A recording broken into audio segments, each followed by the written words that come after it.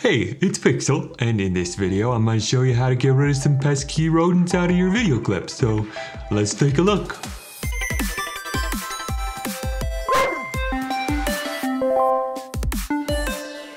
Alright, so first thing we gotta get into After Effects here, and we're gonna need to pull in some footage of some squirrels, because who likes squirrels? I mean, they're disgusting. I hate them. Just want to see them dead. So we're gonna have him right here, and he's in just a little piece of grass that I'd like to go out and just roll around in myself. And we're gonna get rid of them really, really simply. All we gotta do is go up to window and then down to content aware fill.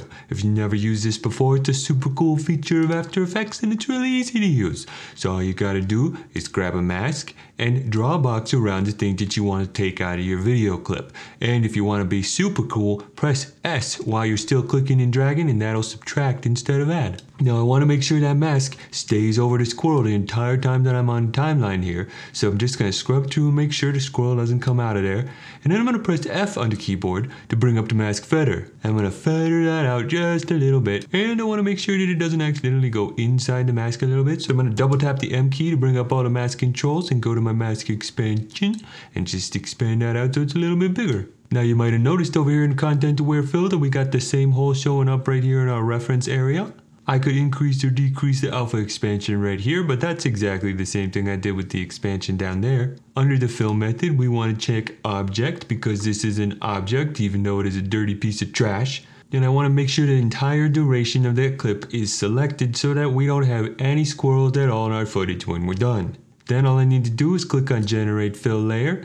After Effects is going to start analyzing the footage and while this is happening we can take a look at some pictures of our favorite things. This is one of my best buds, Kimchi. He lives in Australia and he always knows how to label his layers just right.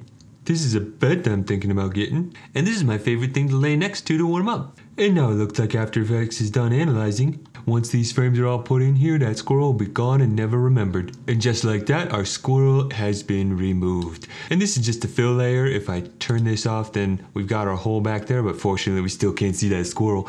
But I'll just turn that layer back on, and now we've got some grass that we can put some of our other favorite things in. Some of my favorite things are a jar of peanut butter, so just scale that down and stick it right about there. And then maybe a T-bone steak. Always love that in the summertime in the sunshine. So there you go, that's how you add some peanut butter and steak instead of some ugly squirrels. I hope you found this tutorial useful. Be sure to leave a like, comment, and subscribe, and I'll see you in the next one.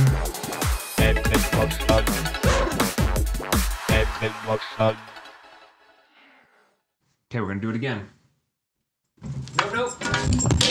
Oh my goodness.